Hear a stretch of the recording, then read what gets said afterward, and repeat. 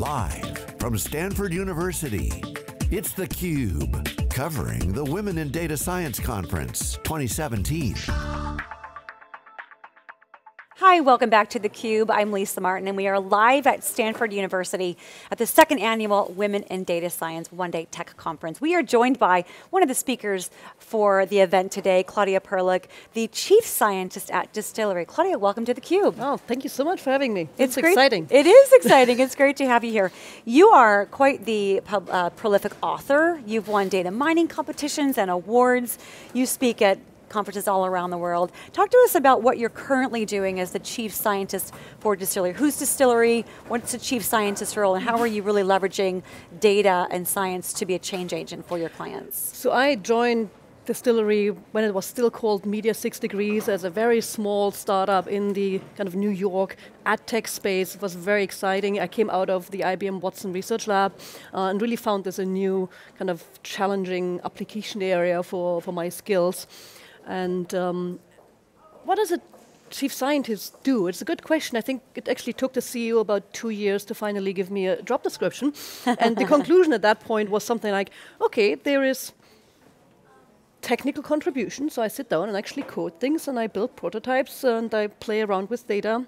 Um, I also am referred to as intellectual leadership. So I work a lot with the teams, just kind of scoping problems, brainstorming what may work or doesn't. Um, and finally, that's what I'm here for today, is uh, what they consider an ambassador for the company. So uh, being the face to talk about the more scientific aspects of what's happening now in AdTech, which brings me to what we actually do, right? So one of the things that happened over the recent past in, in advertising is it became an incredible playground for data science because the available data is incomparable to many other fields that I have seen.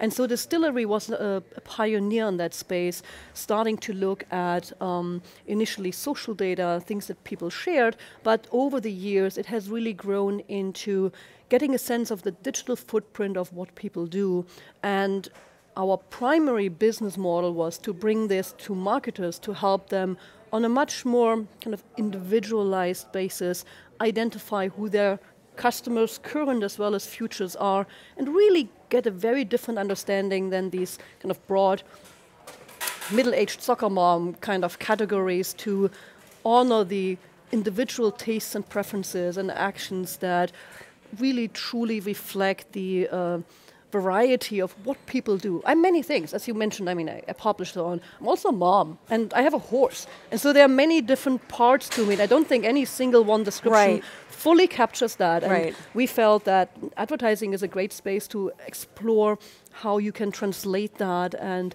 kind of help both sides, the people that are being interacted with, as well as the brands that want to make sure that they reach the right individuals. Very interesting. Well, as the buyer's journey has changed to yeah. mostly online. Exactly. It's uh, you're right. It's an incredibly rich uh, opportunity for companies to harness more of that behavioral information yeah.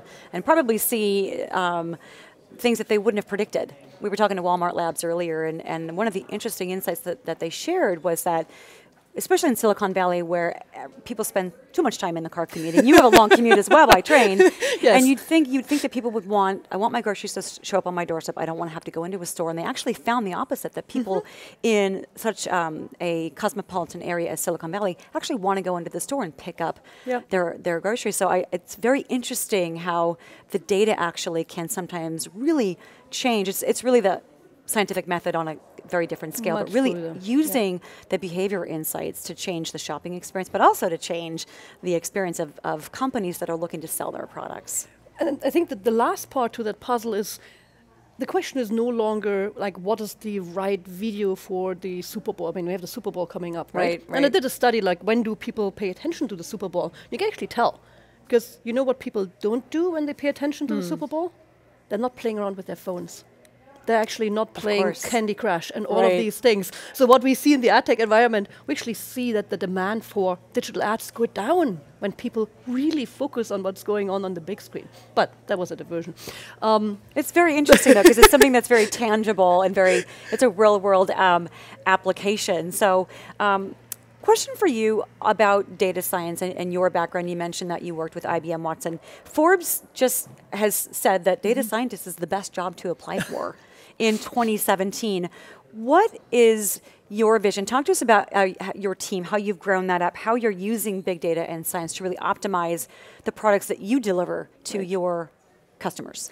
So data science has really many, many different flavors, and in some sense, I became a data scientist long before the term really existed. Back then, I was just a particular weird kind of geek, but you know, all of a sudden it's now it has a name. now it has a name, right? And, and a reputation to yeah. be to be fun. And so you see really many different application areas, um, depending very different skill sets. What is originally the focus of our company has always been around can we predict what people are going to do? That was always the primary focus. And now you see, and it's very nicely reflected at the event too, all of a sudden communicating this becomes a much bigger uh, a part of the puzzle where people say, okay, I realize you're really good at predicting, but can you tell me why?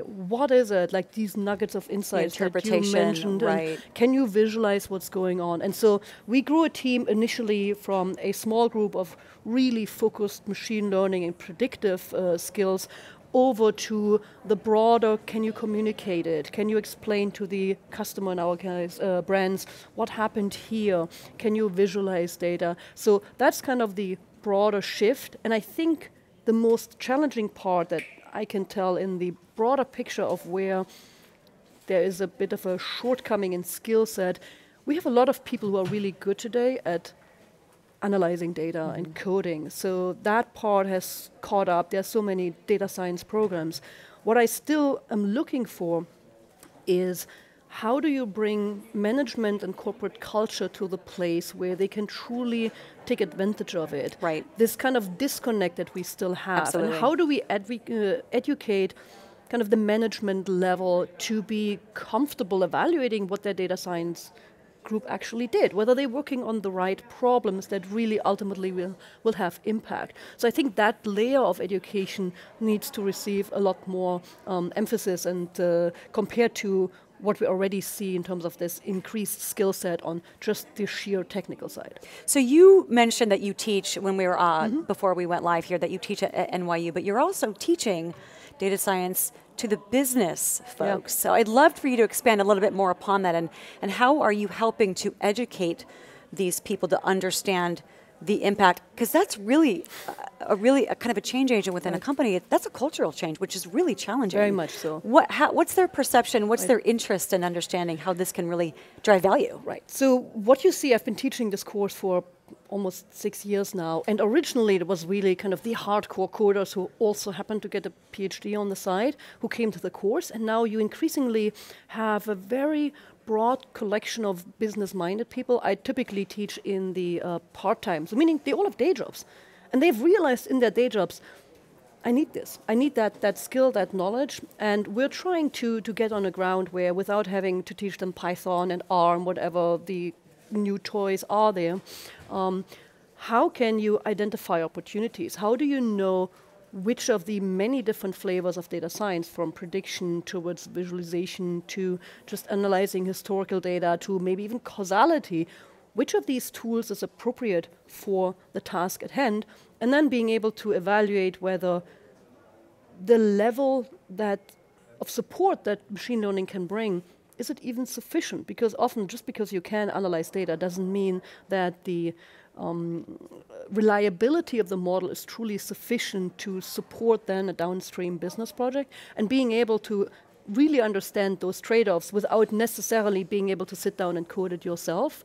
Um, that knowledge has become a lot more valuable, and I really enjoy the kind of brainstorming when we're just trying to scope a project when they come with problems from their day job and say, hey, we're trying to do that, and saying, well, are you really trying to do that? What are you actually able to execute? What kind of decisions can you make? And I, this is almost like the brainstorming in my own company now brought out to much broader people working in hospitals, people working in banking. So I get exposed to all of these kind of problem set, and that makes it really exciting for me.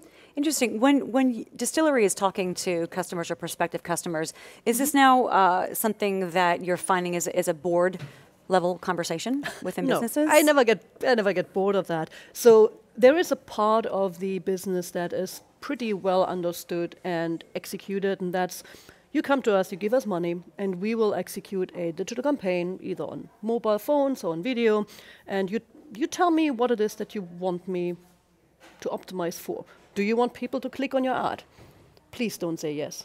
Uh, that's kind of the worst possible things you may ask me to do. But um, let's talk about what you're going to measure, whether you want people to show up in your store, whether you really care about signing up for a test drive.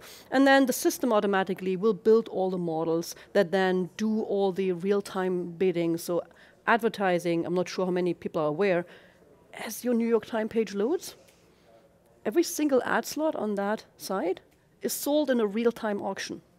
About 50 hmm. billion times a day, we receive a request whether we want to bid on the opportunity to show somebody an ad. Wow. So that piece, I can't make 50 billion decisions a day. This right. is entirely automated. This is fully automated machine learning that just serves that purpose.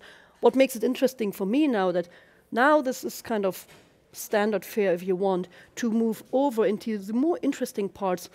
Well, can you, for instance, predict which of the 15 different creatives I have for Chobani should I show you? Mm-hmm. The one with the woman running? Or the one with the kid opening? So that there is no nuances to it and exploring these new challenges or going into totally new areas, talking about, um, for instance, churn prediction.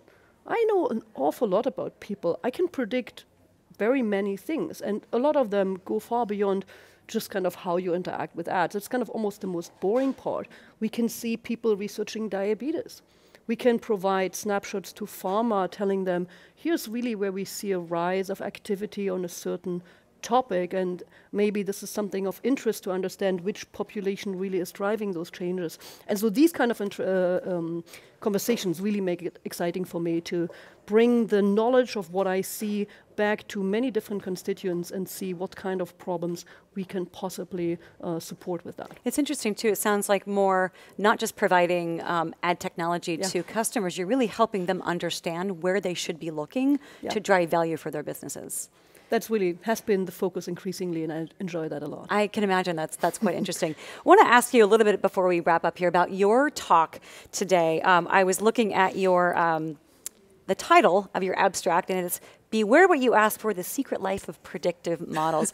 Talk to us about some of the lessons you've learned when things have gone a little bit, huh? I didn't expect that. Um, I mean, I'm a huge fan of predictive modeling. I, I love the capabilities and what this technology can do. So this being said, it's a collection of um, aha moments where you look at this and this, this doesn't really smell right. So to give you an example from, from AdTech, and I alluded to this, when people say, okay, we want a high click-through rate. Yes, I mean, that means I have to predict who will click on an ad.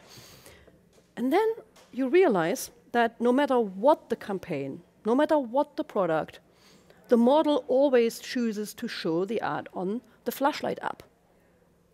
Yeah, because that's when people fumble in the dark. The model is really, really good at predicting when people are likely to click on an ad, except that's really not what you intended right. when you asked me to do that. Right. So it's almost the, they're so powerful that they move off into a sidetrack direction that you didn't even know existed.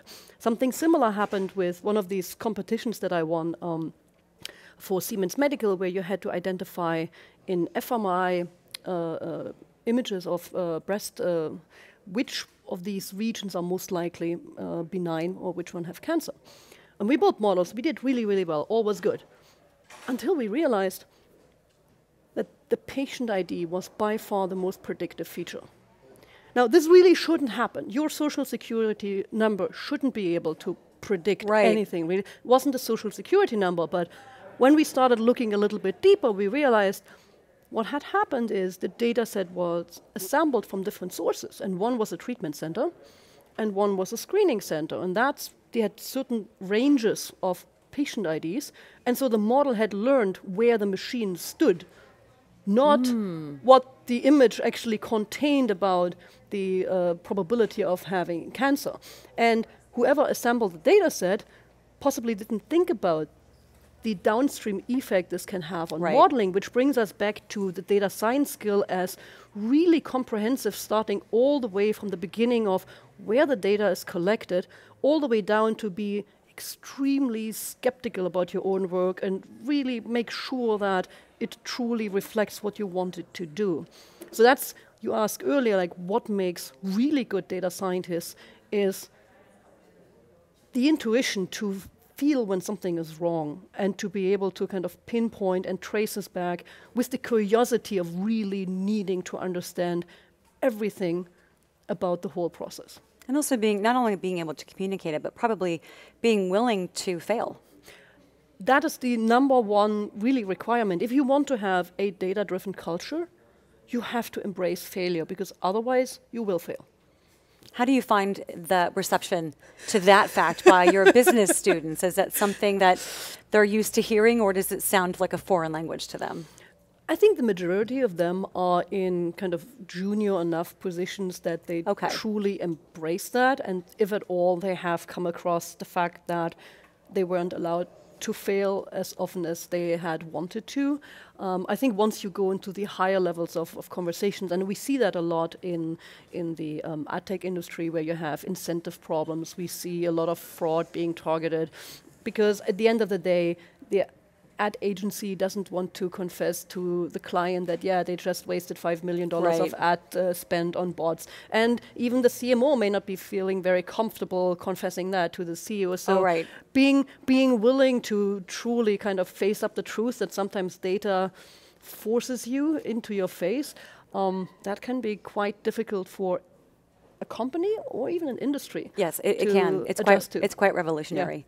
As is this event. So, Claudia Perlich, we thank you so much for joining My us on theCUBE today, and we know that you're going to be mentoring a lot of people that are here. We thank you for watching theCUBE. We are live at Stanford University from the Women in Data Science Conference. I'm Lisa Martin. We'll be right back.